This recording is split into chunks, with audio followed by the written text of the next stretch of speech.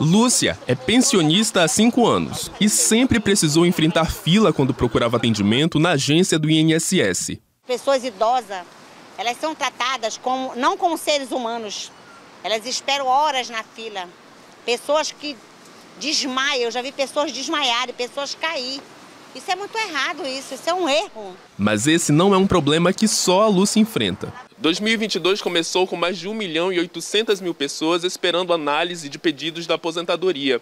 De acordo com o ministro do Trabalho, Onix Lorenzoni, o INSS Digital vai dar mais agilidade aos advogados na hora de fazerem esses pedidos. Onix acrescentou que a expectativa com o aplicativo é zerar a fila de espera até o mês de junho. Nós estamos trabalhando para que o INSS, a partir de uma série de convênios e ações que vêm sendo desenvolvidas, a gente possa é, reduzir essa fila para, quem sabe, segundo semestre desse ano, a gente possa falar em terminar com a fila. O INSS Digital é um aplicativo feito exclusivamente para advogados agilizarem os processos. Já o aplicativo Meu INSS pode ser acessado por qualquer pessoa. São mais de 90 serviços, como a simulação de aposentadoria, pedido de aposentadoria, extrato para imposto de renda, dentre outros. Para acessar, basta fazer o download dos aplicativos no smartphone o INSS Digital, o meu aplicativo Meu INSS, ele direciona as pessoas de maneira simplificada para facilitar, evitar deslocamento,